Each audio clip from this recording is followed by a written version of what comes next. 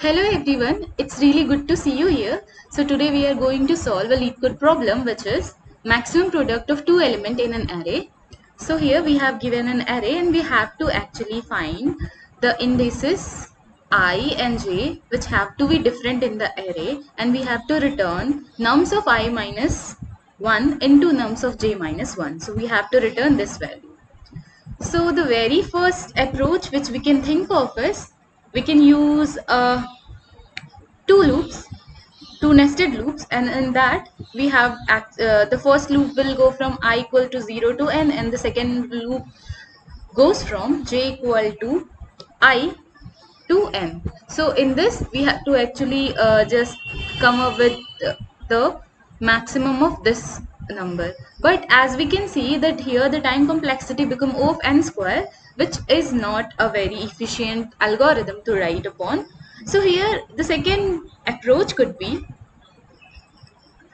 uh, if we have given a list L then we can find the first maximum number and the second maximum number so first maximum number is at index 2 which is 5 and second uh, maximum number is 4 which is at index 1. So if we find both of the indexes then we can simply do this and return the answer. So how we can solve this problem is for finding the max value, the most maximum value, we can simply run a for loop and then get the maximum index of the maximum value which is max 1.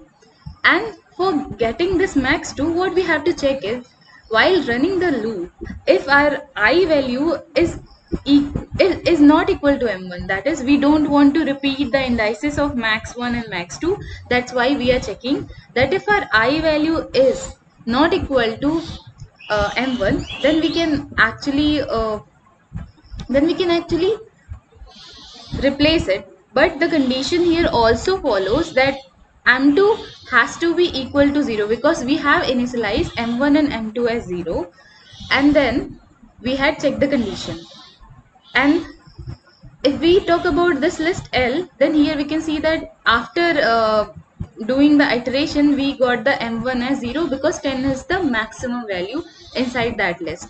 Now to get m2 what we have to check? That if our i value so in a for loop the iteration goes from 0 right?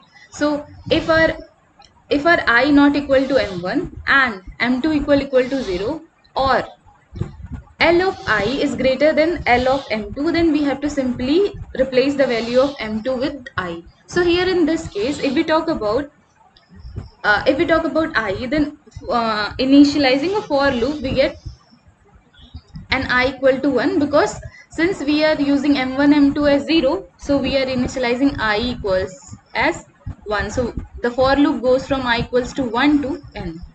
So in this case for uh, since i equal to 1 and which is not equal to 0 what we have to check again is m2 equal equal to 0 so in this case m2 equal equal to 0 is here. So what we do we just do this m2 equals to i.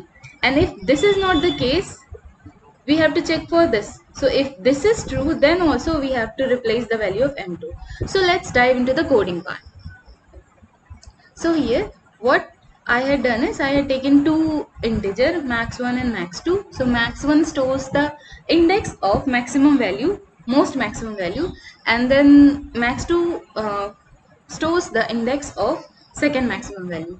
And here after running this for loop I got the maximum index of the maximum value inside that nums.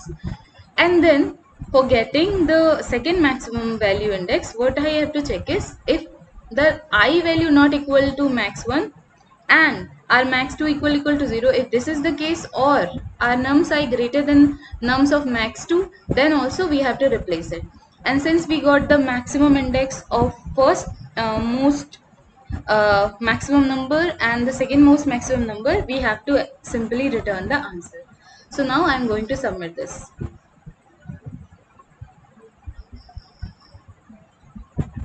so it got accepted. Uh, so if you want to assess the code then you can directly go and check the github link given in the description. And this is it for this video. Thanks for watching